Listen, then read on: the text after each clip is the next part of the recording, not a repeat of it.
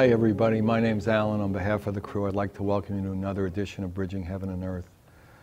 On one of the last shows, I remember talking about hallelujah and a hallelujah moment, and how many times in our lives do we have that feeling, the feeling of unbridled joyousness, the feeling of just, just love, love overflowing of, lo- of that we're human bodies, but basically we're, we're love in motion. And I remember talking about it. I remember thinking, wouldn't that be, wouldn't that be a prayer? Wouldn't that be an intention? Wouldn't that be a wish for all of us, all of our, our brothers and sisters on this planet to have that experience? And wouldn't it be, wouldn't our manifestations and wouldn't our activities be different if we were having a hallelujah moment, if we were having the moment of unbridled joy. And clearly it would. I mean, what drives us to, you know, get involved in the things we do, get involved in the dramas we do, get involved in the circumstances that are hurtful to ourselves and hurtful to others, and hurtful to the planet, and hurtful to the plants and the trees and the animals. It's just our lack of that joy, our lack of that happiness, our lack of that contentment. And then the question is is that hallelujah? Is that joy? Is that contentment? Is that love, really? Because it feels like love in a human body. Is that available in a human body? Is that available for us on this planet, even now, even now, with all the seeming separation, seeming disharmony, seeming well, we know what happens. We know the wars and the, the pestilence and the, you know, how we can move armies of people to fight each other, but we can't move water to, to save people who are in droughts. We can't move food for people who are starving. We can't move drugs for people who need them, and the drugs would cure all their illnesses. But because of the distribution of, of monies, because of the, dis, the root disharmony of our lack of that experience of the joy, things don't get moved around. So our brothers and sisters starve, our brothers and sisters die of thirst, our brothers and sisters die of disease. And isn't it time that we experienced as human beings the joy of our connection, the joy of our love, the joy of our being on this glorious planet? What do you think? what do you think? I mean, isn't it time? Isn't it enough? Isn't it ready? Isn't it true? Isn't it real? I mean, almost everyone in this human body, for one reason or another, has experienced a certain level of joy. Maybe not the ultimate bliss that has, that's unconditional, that comes just from being in a human body, that comes from just our recognition of that love, that oneness that we talk about. But we know in our heart of hearts that that in fact, is possible. We know that that's what we really are, that we know that that's what we're really made of, that we are one living breath, we are one love in different bodies. And, you know, let's, let's, let's go. Let's do it. Let's, let's be together. Let's begin those collaborations. Let's connect up. And, and whatever percentage of our being is in that hallelujah, Let's bring it together. Let's bring it out. Let's manifest it. Let's create with that. Let's come together in that spark of joy, if that's all we have. And if we don't feel a spark of joy, and we only feel fear, and we only feel uncertainty, and we only feel craziness, and we only feel drama, and we only feel terror, and we only feel hate, then let's pray together. Let's pray that we can feel the joy.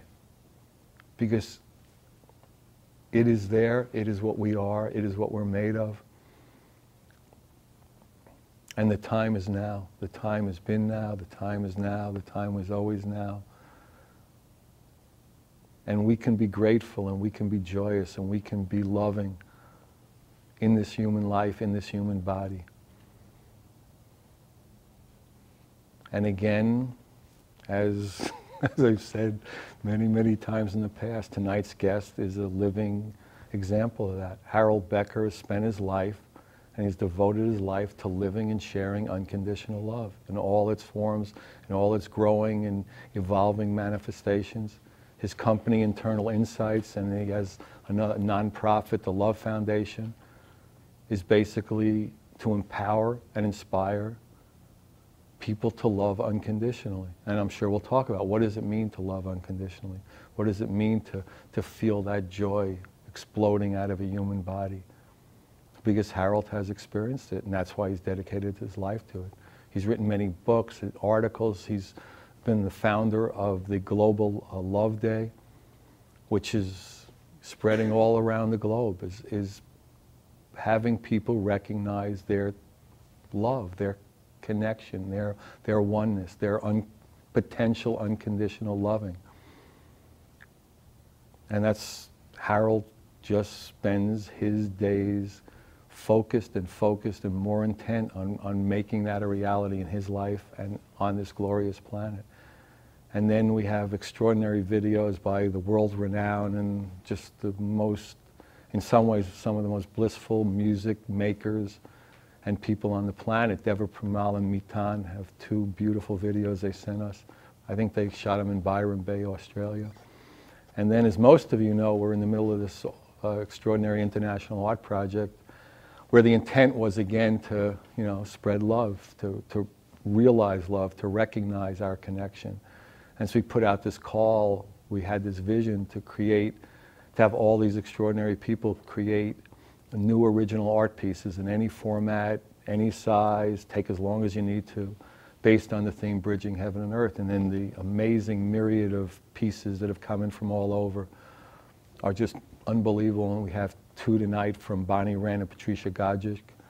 And you'll see, I mean, different, powerful, amazing manifestations of Bridging Heaven and Earth. So, again, it's an opportunity to share, to settle in, to experience the joy, pray for the joy, intend the joy, intend the love. Let's make this living life for all of us and our children and our children's children. Hallelujah. So, join me in a short meditation, then Harold will be with us for the videos, the art, and it's an opportunity. So, please join me in a short meditation.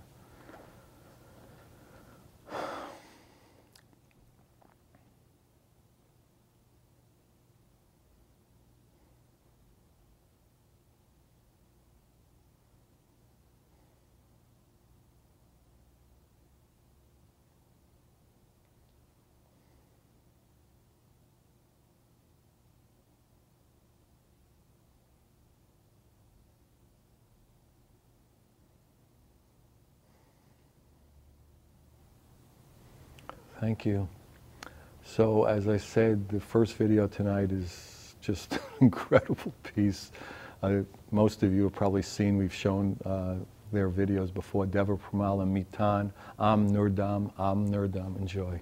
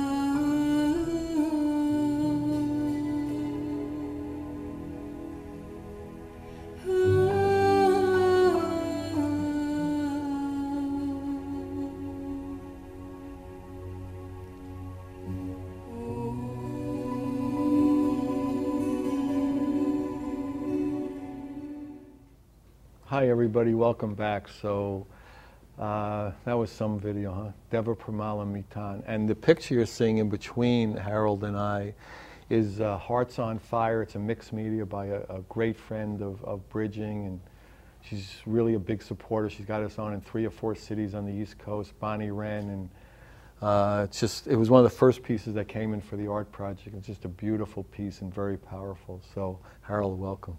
Thank you. Pleasure to be here. Thanks for having me. Yeah, my pleasure. So, I mean, I know we've talked about it a lot, you know, personally and, and over the years. How do you define like unconditional love? How did you come into that experience that, you know, that these two words together meant something to me, and that I had to like dedicate my life to knowing more about it? And then that's the end of the show. I guess. so a three-part fill the show question. Go ahead. The unconditional love how it evolved was rather interesting because a lot of my uh, kind of awakening to a greater reality than I had originally been aware of. I was much more of a realist, you know, do everything right, do everything the way everybody says, and you know, just conform. And all the while not being very happy inside. And then there's the kind of this unfolding gentle awakening that became louder and louder. And I started to look into myself and I started to say, well, there's more to life, there's more going on. And as I started looking into a whole variety of self-help books, um, tapes, everything I could kind of get my hands on to find out more of who I was, I kind of started to notice that there were certain common categories. Like there were books on positive thinking, there were books on creativity, how I could create my life. There were aspects of like masculine and feminine energy. And then there was this kind of recurring theme about love. And so there was like wonderful books, wonderful ideas, wonderful theories, all this information and yet, this concept of love kept coming up. And I noticed that as love was being expressed, it had all these different aspects to its label, and yet there still seemed to be something more. So I went out and I picked up a couple of books that kind of looked at all the major religions. And I wanted to just kind of know what, what all the major religions were about. And when I was done with the book, which was really fascinating to me, is that what I got out of the book was the fact that every major religion had its core message by its teacher that the religion was based on was love. And I'm like, is somebody not, why am I the only one that seems to think and see that it's all about love? Well, as I started to contemplate more about love, I asked myself about this unconditional aspect. And I really thought, well, people say love, but they don't seem to know what it is. They don't seem to know what to do with it. They don't seem to know how to to act on it. They don't seem to, the, the world didn't seem very loving to me, even though all these religions are touting love as a message. So I decided, what happens if I look at it as unconditional love? And I came up with a really perhaps unique and unusual definition. I took the word love and I looked into it as the aspects of we use it as a verb, we use it as an adjective. We, I love my job, I love my spouse, I love my kids, I love this, I love that.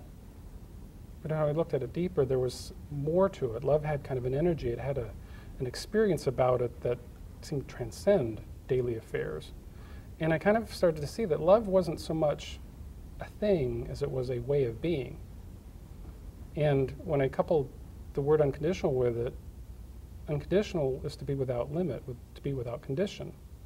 So I just threw the two words together. My definition, which is perhaps quite unusual, what people would normally come up with, is unconditional love as an unlimited way of being. When we live every moment without condition, without limit, if we don't limit ourselves to who we can be, we're able to express a much greater range of who we really are. And when we look at it and work with it over and over and over again and keep this unconditional love, total self acceptance, so you accept yourself, you're going to accept everybody else. If you love yourself, you're going to love everybody else we have it kind of reverse in the world right now. We have it the other way where we want everybody to love us. And yet, if you don't love yourself, there's no way a person can love you in return because we don't have that feeling. There's nothing to connect with. So, unconditional love is really about self acceptance, getting to know who we are through and through, knowing who we are, knowing that we create our reality, knowing that we can create a different reality, and knowing that we can actually generate love. If we don't generate love, there's no love. If we don't let love pass through us, if we don't look in every moment in a very practical way and say, I'm resisting this or I'm resenting that or I'm having an issue here, right? If we don't learn how to work with the energy that's inside us, there's really no way to ever express love. And at this particular moment on the planet, it, we kind of have real concrete examples of people that don't love, people that don't accept, people that are not tolerant, people that don't accept diversity. We see what happens when there's no love. Well, where do we trace that back? It's back into the individual. If I can't forgive myself, if I can't love myself, how can I possibly love another? How can I possibly let anybody love me if I don't have it within? What we have within, we give out. What we give out, we get back. Circular flow of life. And it was just so fascinating to me that something so simple, in my eyes, seemed to be completely missed out on the mass of humanity. That nobody's really talking about love in such an unconditional way, although the majority of the population who ascribe to some kind of religion have essentially as their core teaching unconditional love. And so for me, it was like, how do we make this practical? How do I make it practical? How can I make what all these purveyors of wisdom have said for thousands of years, make it practical in this moment, this day, something that anybody can readily connect with, use, share, be. And that's how I came to this rather unusual definition. If I live every moment without condition, without limit, if I don't place conditions and limits on myself, I will naturally not place conditions and limits on other people. If I give myself free will, I give another free will, then I get to experience them for who they are rather than who I'm projecting onto them that I want them to be. Then nobody owes me love because I'm not looking to get love You're from full somebody. anyhow, I'm giving love. right? So it was really not so much a the light bulbs come on, the angels come descending down and singing, and all of a sudden I see the light. It was really more a very interesting evolution of understanding, and I think because of it, very grounded in practical reality, so that we can turn around and take this, and you don't have to have a transcendent experience to start being a person of love. You don't have to have any unusual situation in life to trigger this. It's something that anybody can pick up at any moment and begin to work with and start to realize that the love's coming from inside them. It's not coming from outside them. It will never come to them from the outside world. It's got to come from within, and it's already there. It's not something we, we really have to go in and make happen. We just have to let it happen, just let it release. So we have come to a very interesting place with this unconditional love because typically it's, it's been the purveyance of some divine aspect of ourselves that's really so nebulous sitting on a cloud that we can only be loved by one particular entity. When in reality, in my estimation, the way we can actually transform ourselves and the rest of the planet will be literally to learn how to love unconditionally and no longer limit it to just love, but actually take it that next step and actually add this word of unconditional and actually be unconditionally loving to the best of our ability in every moment and see where it takes us. So, And so when you were doing this process, you were asking yourself those questions, how can I take this almost a concept, this idea, and bring it into a life that doesn't experience that in every moment up until this point? And what were the answers that you came up with? the answers or actually were a series of questions why wasn't I loving? In other words, I started to become very introspective, inner analyzing. I started to ask myself, well, why do I react when I see this, that, or the other in my outer experience? Why am I, why am I not loving?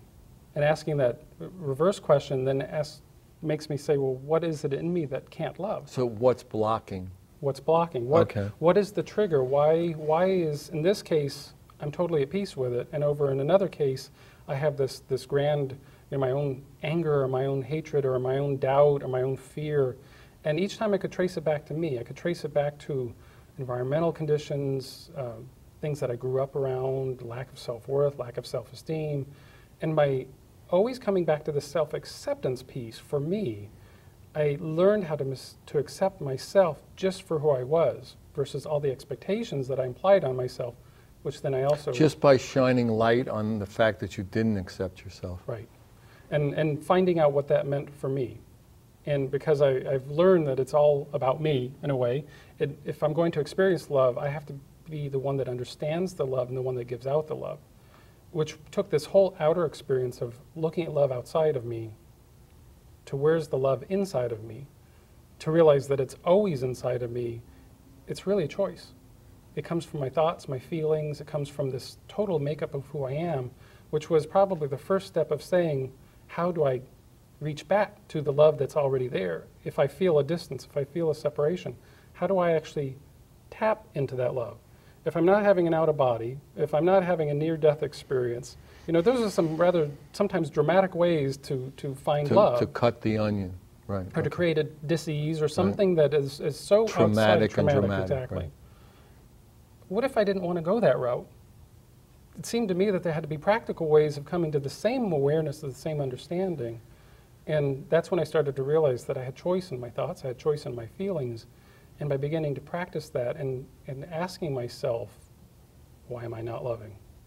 Why am I resisting? Why am I having this challenge? Then I could start to find out where I picked up on suggestions, limiting beliefs, doubts and fears about myself.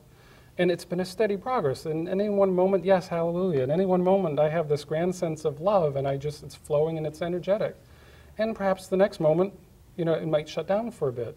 Now I know the difference of how to reconnect to it. And that, I think, is the greatest aspect of this message of unconditional love, is that it may turn on and off periodically. but When we know it's there, we can go back to it. And I don't necessarily think our, our outer leaders, our outer religious leaders and government leaders, I don't necessarily think that they're sharing that message, that it's inside us. So where are they going to get it from? You know, where are they going to get this notion that it's something that's already existing? And where are they going to get this notion that it's something that they need to cultivate? I need to cultivate it myself, and as I learn how to cultivate it myself, I then know how to teach or share or show or inspire others to do it for themselves. To see the love in me is to see the love in somebody else. If I'm seeing the love in someone else, I'm going to necessarily draw the love out of them because I'm not going to focus on what's not happening, that's not love. I'm going to focus on the love potential in another, and then that gives them a chance to rise up to the occasion to realize that the love's inside them. So it becomes a really And also it's vibrational. absolutely. So, I mean, you're dealing in that level, so. And, and if you know the law of vibration, the, the law of resonance and vibration is that whenever two energies come together, if you have a lower vibration and higher vibration, and we're just using this as an example, uh, not that one's better or lesser, but if you have somebody that's very down, hateful, spiteful, angry, um, non forgiving, non loving, they, they're vibrating at this level. Bring somebody in that's vibrating at love and peace and forgiveness and joy. It's a much faster vibration, it's a much higher vibration. Well, you bring two entities together like that, and the law of resonance says either the lower has to come higher, the higher has to come below, or they have to meet somewhere in between. Well, what I've learned is if I've learned how to raise my vibration faster and higher to just be love in the moment, to be acceptance in the moment, and I keep my energy here, and I come in with an energy here, if I'm not willing to budge, either that energy has to come all the way up and meet me, or it has to leave because it will not want to be around me. And that's in a way how I've also been able to assist others by keeping my energy and joy and peace and love and harmony. That it's created an opportunity for those that want to to lift their vibration for themselves to that level. That's a really potent understanding. Well, think about if you and I do that. If we're both focused on love right now and we're choosing that, and then we go out into the world and we maintain that level of vibration, everyone we come in contact with is going to Whether they know it or not. whether not. they know it or not, because they will be passing by this vibration. They'll be passing by a positive suggestion, a positive message, a positive energy, a positive, and they will necessarily pick up on some of that energy, and then they'll be a little light will go on, and they'll say, "Wow, I just felt something that I never felt before." It's changing. Energy, Absolutely. yeah, right. And we're literally, if we focus on love by itself as our sole focus in everything we do, we literally lift the planet. It's kind of like if we were to put a napkin on the table and picked it up from the very center and lifted it up, the entire napkin rises in that conical shape. You lift one point up, and the entire collective goes up. Which is why it's become probably the passion of mine is that when you know the equation, if you know how the system works, you know how it operates, then there's no reason not to. Because if I can be one point, how much can I raise up just by being that love vibration. And what happens when all the other ones do that and others surpass me and they love even more than I do? And, and that's how we literally transcend, transform, shift, bring about a new reality. There's plenty of messages of fear, plenty of messages of doubt, plenty of messages of hate, plenty of messages of separation. How many messages are there of pure love? I don't need you to be anything that you're not. That isn't necessarily talked about in the mass consciousness. You don't have to be any more than what you are. Well, that is a level of self acceptance that I can express. Bring that to somebody that's never heard that, and that might be the very first time they have permission to accept themselves. Nobody's ever taught them that, nobody's ever shown them that. I've figured out aspects for myself, and it actually becomes a joy to share this to see how other people react, integrate, and then share that same concept. And I've watched miracles happen where people just literally gave up years and years and years of limitation just by recognizing that they could accept themselves and love themselves unconditionally. Just the idea that the possibility exists. So you're really saying that in a lot of a lot of lives they've been so disconnected from their selves, their root, their heart. Their heart is so covered or so broken that they don't recognize that seemingly simple concept. And perhaps locked it up into a nice little box so tightly that they're afraid that if they actually open it up, they might experience the love that they've been seeking for for eons of time. And it's ironic to me, and this is one of those paradoxes of life, that the thing we crave the most is the thing we appear to resist the most. People want love in every level. You hear it in the songs and the radios and the music. Everywhere you go, people are seeking love, whether it's physical, physiological, whether it's acceptance, validation. Those are all qualities and aspects of love. And yet, for all that seeking, people have been seeking outside themselves never realizing that the love that they're looking for is right inside them. It's right there walking with them every step of the way. so it's like the looking for love in all the wrong places. Absolutely. Because they're always looking outside themselves when right in our own heart of hearts is all the love we could possibly want. Need, desire, it's all there. If we can't accept ourselves top to bottom, inside out, if, if there's anything that we resist about ourselves, that's less than love. That's a lack of love. And when there's a lack of love, there's no love. So let go of the resistance, let go of the limitation, let go of the label, let go of whatever it is that we think is not worthy of love. Make it worthy of love, and then all of a sudden you'll find the love that's always been there. Wow. That is very beautiful. Well, we'll do more. Let's do a, a very beautiful video now. This is the second video from Deva Primala Miten, Gate Gate. It is very beautiful. Settle in. You can really settle into this one because it's a, it's a nice long piece. Just let their music carry you. Gate, gate, enjoy.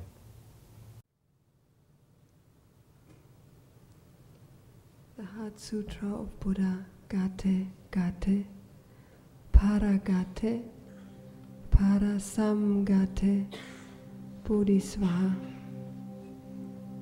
Gone, gone beyond, gone altogether beyond. Oh, what an awakening. And actually, Bodhi Svaha is the equivalent to Hallelujah.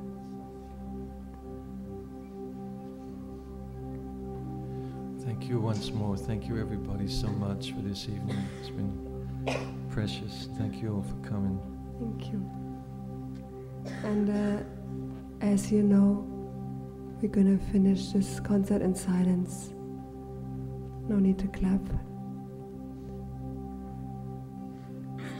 Silence is the biggest gift.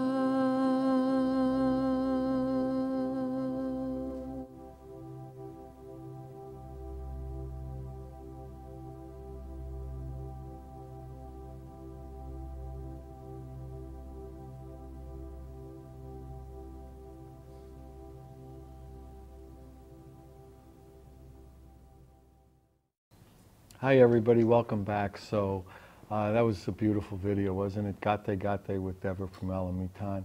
And the picture you see in between us is called fractal embedding. It's an oil on paper by, as I said, Patricia Gajic, a great friend, a former guest on Bridging. And, you know, you'll get to see the beautiful work as, you know, hopefully as I'm talking about, you're seeing the camera just go through this. The colors are just magnificent.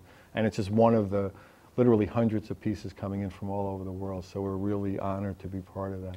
So welcome back, Harold. We've got a new picture between us. Yes. It's amazing how much incredible art, isn't it?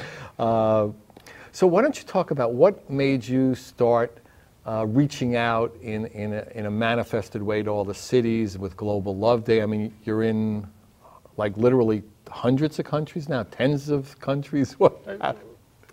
As a part of this process of understanding love and sharing love, and essentially, you know, it's like when you start to understand something that can help an individual, then you realize, wow, what if I can share this with other people? What if, if I can actually affect change by sharing what I've learned about myself that is practical, that is uh, capable of being done with everybody on the planet because ultimately we're all human. I mean, there's, there's no difference between you, me, a Chinese, a black person, a, a white, a pink, a purple. Tall, it doesn't short, right, all right. absolutely. We want to feel love and share it. We all want to feel love. We all want to share it. We all laugh. We all cry. Right.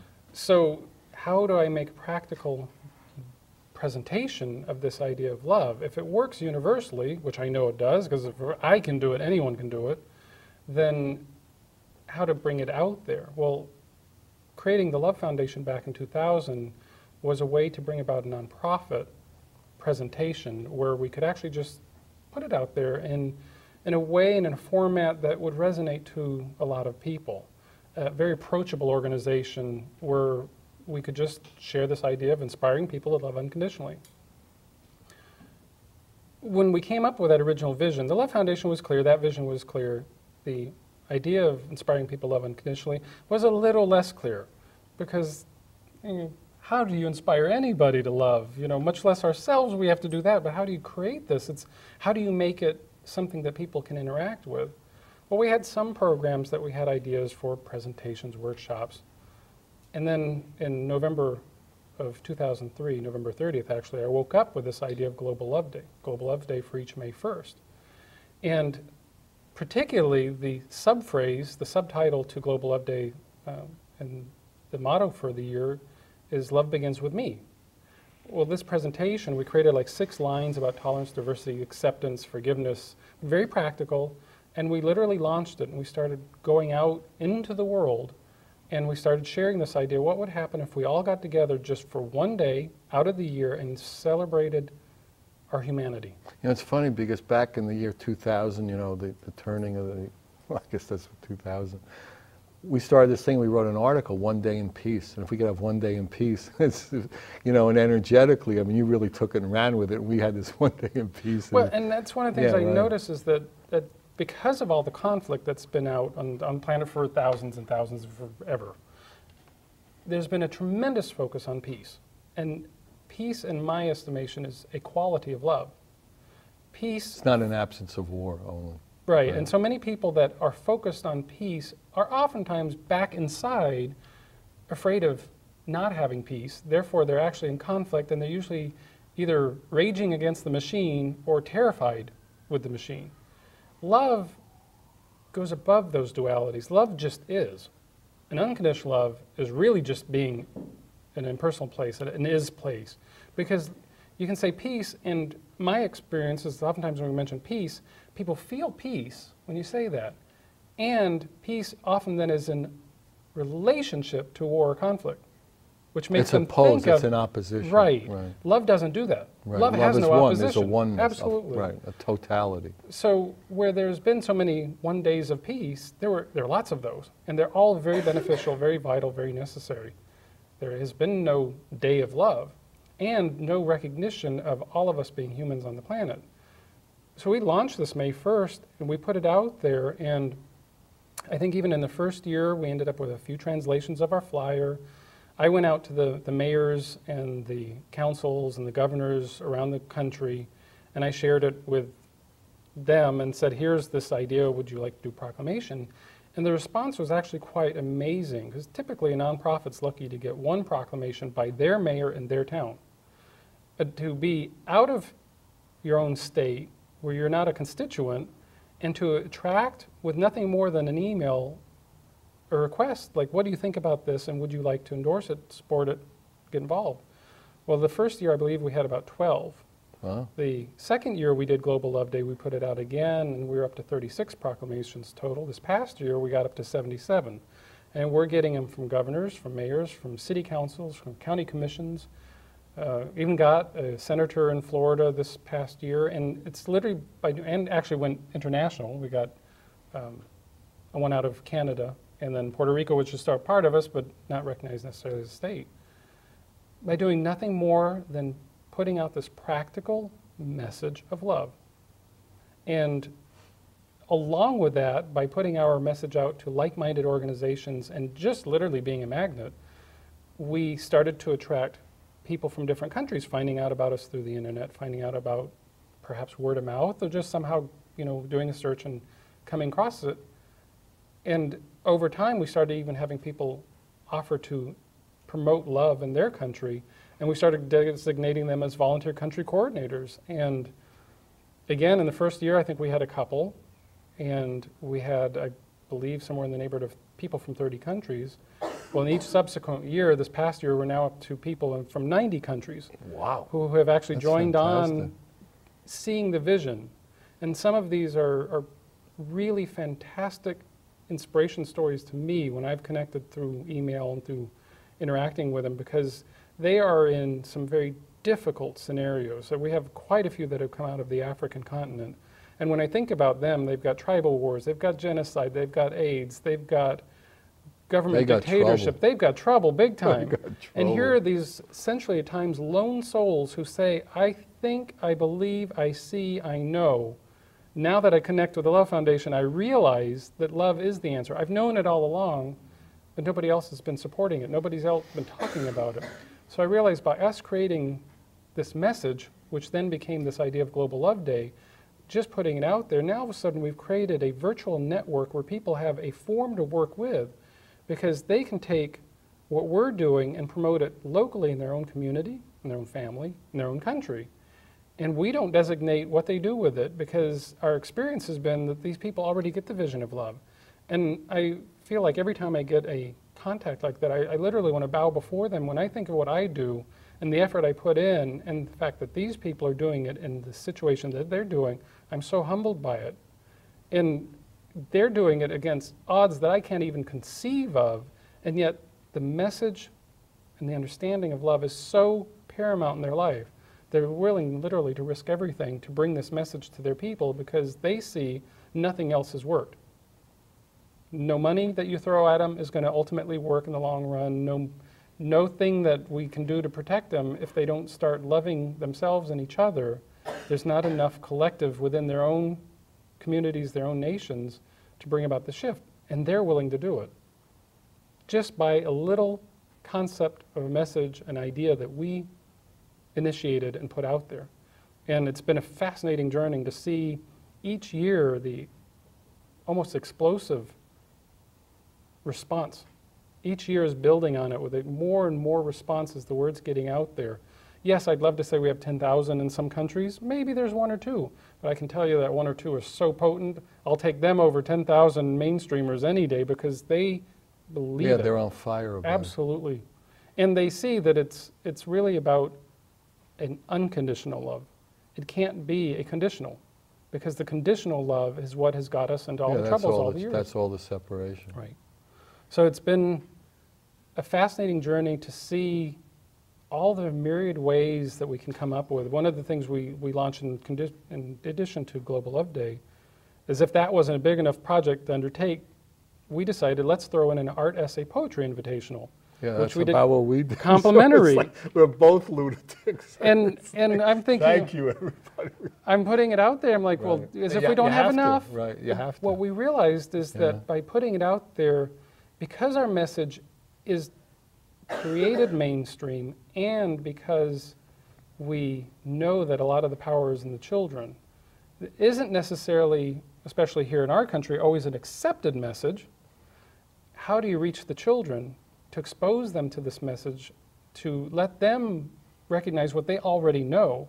Create an art essay poetry invitational amongst all the things that they're going through as kids in school and what have you, all the things that they're exposed to.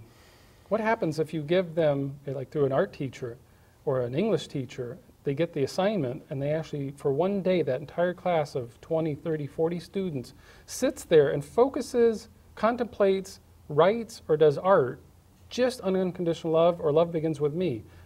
That is so potent because that means there's a collective interacting, and for one Yeah, energetically, moment, it's like acupuncture for the planet. for one moment they're not playing a war video game. For one moment they're not fighting each other. For one moment they're not in competition. It could change the whole momentum. Absolutely. Right. So we launched this Art Essay Poetry Invitational and very specifically worded it so that it would be recognized. There are no words of competition.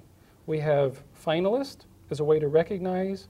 We give out certificates as a way to recognize. We have finalists for each of the categories, and then I have we call them uh, Director's Award for each of the categories, and we open it up internationally for everybody. And I have literally been amazed at what's been mailed to me, and I have no idea how these people are finding out about it. And yet they're mailing in their poem or whatever piece of art they've created. I've gotten boxes with the clay in it where they've created something out of clay that they, they ex- express as love. And each piece has an energy about it that you can't describe because there's no fear, doubt, or hate. That's a very low vibration. This is pure love. And love begins with me as that additional message brings it back inside them. So they're not just like all about unity to the planet. Great notion, but if they don't Yeah, recognize they're part of the planet, them, Right. then there's Yeah, still something outside it. Right. So we've been quite fascinated as this has unfolded and, and gotten greater recognition. We've, we've said with just a little bit of, of additional exposure in the right channels, you know, would take a whole lot of us to go through all these submissions because, you know, sometimes I wish like, well, it would be nice if we had a lot. We can barely handle the ones that come in into your, through our volunteer network just to go through them, to sort through them, to, to give them all an honor and literally to sit because in our case we're not judging them for how technically perfect they are or how well they convey the message. We are looking for which ones do convey the message. It can be a crayola drawing of stick figures and yet if those stick figures make you want to almost cry because you feel the love pouring out that's what attracts us. They're all wonderful and yet certain ones will rise to the surface. When you look at that piece of art or you read that poetry or you read that essay and as you notice, I said all three. Most people do an art invitational, they do a poetry. No, we had to do it big time. We did I it all. understand. And we did that because I know for me, I never saw myself as an artist, I saw myself as a doodler. So if I don't necessarily see myself expressing in art, I might think I can write poetry.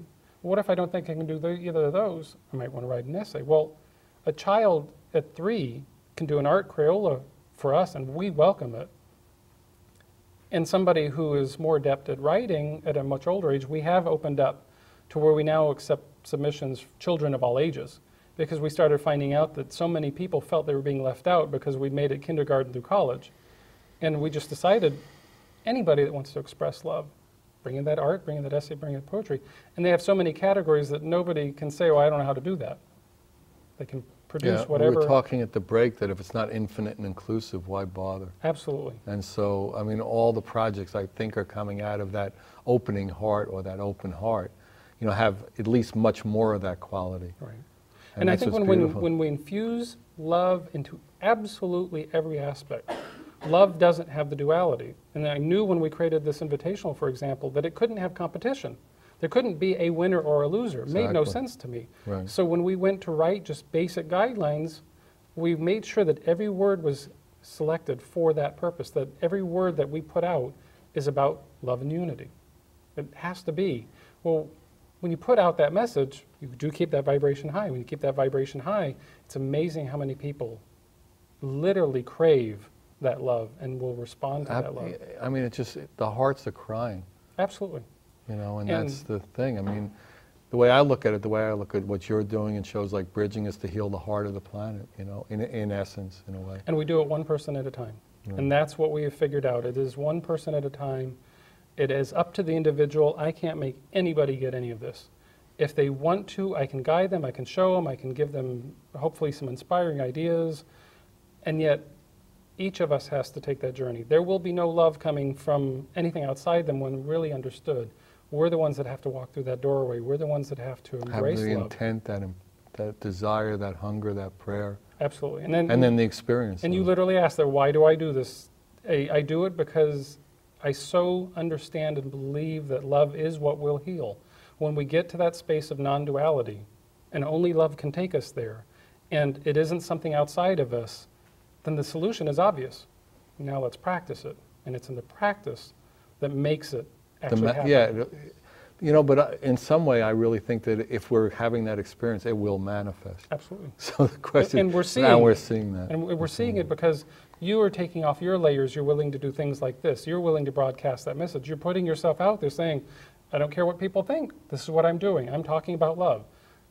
Anybody who runs into me or the Love Foundation, it's Right. all about love. I'm, not I have no interest about anything else. It's about love. And you know, amazingly, we're coming to the end of the show. I mean, these things go so fast. So, really, you know, it's just an opportunity. Please, we need to all take it. We want to take it. If you need, want any information about Harold, the artist, uh, Deborah Primala Miten, Alan, 805 687 2053. Good night. God bless you. Thank you for coming. Good night.